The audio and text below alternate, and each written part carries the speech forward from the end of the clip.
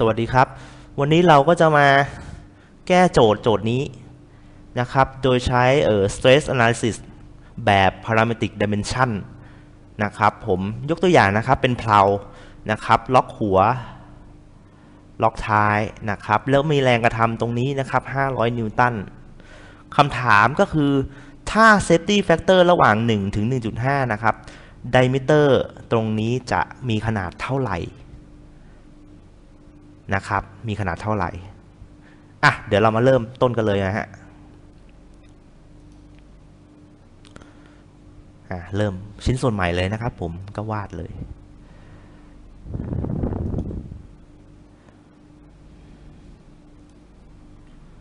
ตรงนี้นะครับ เอ่อ ด้านนอกก็ diameter เท่ากับ 20 นะครับ ก็วาดปกตินะฮะ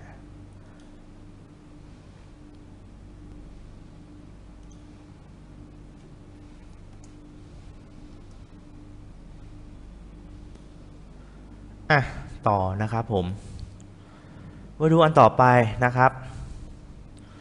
ตรงนี้ที่เราจะคำนวณใช่ไหมครับ diameter เท่ากับเท่าไหร่นะครับเออคุณก็ต้องประมาณคร่าวๆแล้วกัน ถ้าให้ผมประมาณก็ประมาณ 15มิลนะฮะก็วาดเลยนะครับ แต่ต้องใส่เป็นตัวแปรด้วยนะฮะวงกลมนะครับ พิมพ์เลยนะฮะ dia diameter นะครับ เท่ากับคร่าวๆนะครับ ประมาณ 15 มิลมาดูตรงนี้นะฮะ เห็นไหมครับ diameter เท่ากับ 15 มิลแล้วนะครับ ใส่ตัวแปรเรา finish sketch ได้เลยนะครับ extrude นะครับ ก็ตามโจทย์นะฮะ ตรงนี้ ตรงกลางก็ 10 มิลนะครับผม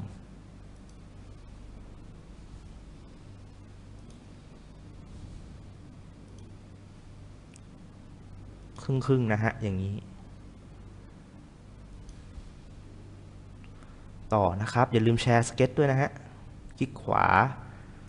share sketch นะครับ 200มิลลิเมตรนะฮะ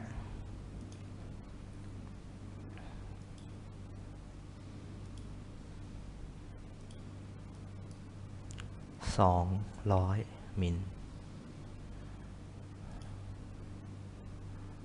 อะซ่อนสเก็ตซะ เสร็จแล้วนะครับ เออเหลืออะไรฮะ อลูมิเนียมนะครับ6061 อย่าลืมเปลี่ยนด้วยนะฮะอะเปลี่ยนวัสดุเป็นอลูมิเนียม โอเค เรียบร้อยแล้วนะครับผมต่อมาก็เข้าไปในโหมดเอ่อ stress analysis เลยนะครับ ถ้าออกเสียงผิดก็ขออภัยด้วยนะฮะ ผมคนไทยนะครับอะต่อได้เลยนะฮะ กด create simulation ได้เลยนะครับผมต่อมานี่ตรงนี้นะครับ เราจะมาสโคปตัว diameter ตรงนี้ใช่ไหมฮะ เพราะฉะนั้นนะครับ design objective ของท่านนะครับ ต้องเปลี่ยนจาก single point เป็น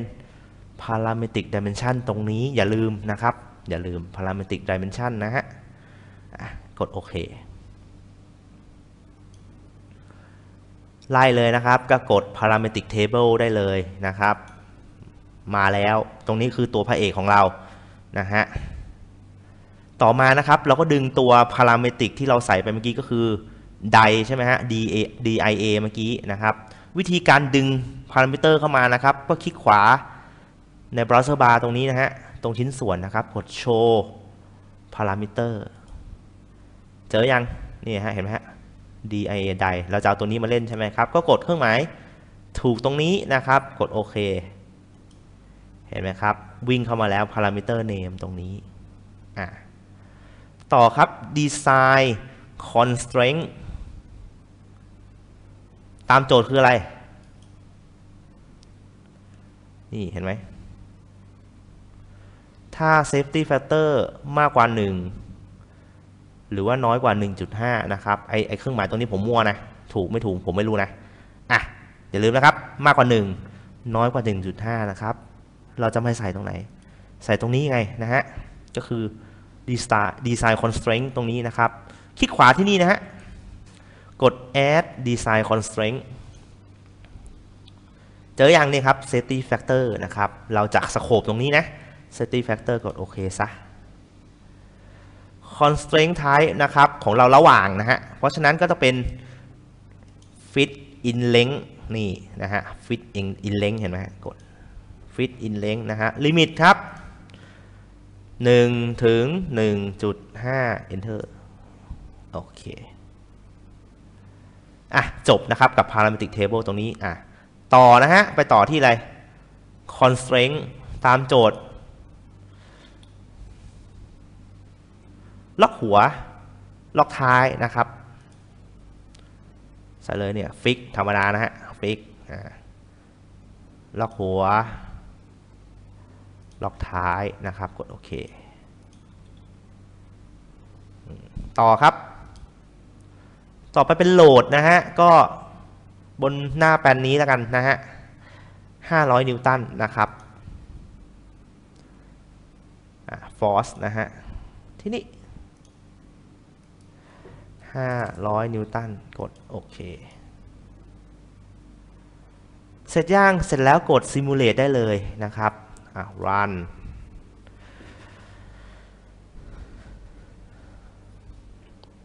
อืม เสร็จแล้ว ดูซี่ safety factor นะครับ เท่าไหร่ safety factor 7.31 สีแดงเห็นไหมครับ เพราะฉะนั้นความรู้สึกผมที่บอกเมื่อกี้มัน 15 มิลมันผิดนะครับ มันผิด เห็นไหม ใหญ่มหาศาลนะครับ เพราะฉะนั้นเราต้องมาเปลี่ยนแล้ว diameter มันต้องเล็กลงใช่ไหมครับ คุณก็มาดูที่นี่เลยนะครับ parameter ตรงนี้ value ตรงนี้เป็น 15 ใช่ไหมครับ มันประมาณเท่าไหร่ล่ะ ผมว่าเอ่อ6มิล7มิล8มิล10มิลประมาณนี้เนาะเวลาใส่นะครับต้องใส่จากน้อยไปหามากนะครับอ่าใส่เลย6มิลคอมมา7มิลคอมมา8มิล10มิลนะครับตรงนี้เห็นไหมโอเคไหมโอเคนะฮะก็กด enter ตรงนี้มีแถบนะครับเลื่อนได้เห็นไหม not available เรายังไม่คำนวณนะฮะวิธีการนะครับ คลิกขวาตรงนี้นะฮะ กด generate all configuration หนึ่งครั้งเสร็จแล้วก็กด simulate อีกหนึ่งรอบครับ run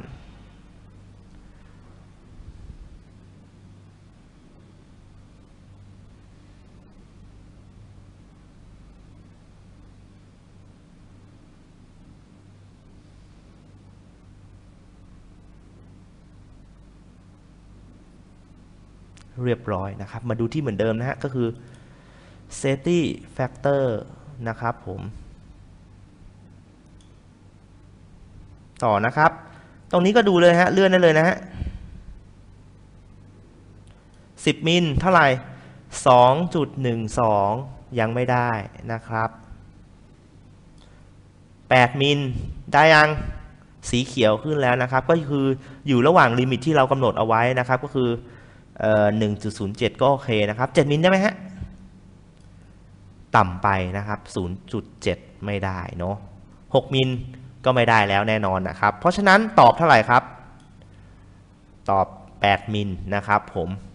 โอเคนะฮะ ก็ใช้ฟังก์ชันนี้นะครับ scope งานของคุณนะครับจะไม่ให้เรา under หรือ over design นะครับกับชิ้นงานของเรานั้นๆนะฮะก็เอาไปดัดแปลงใช้งานดู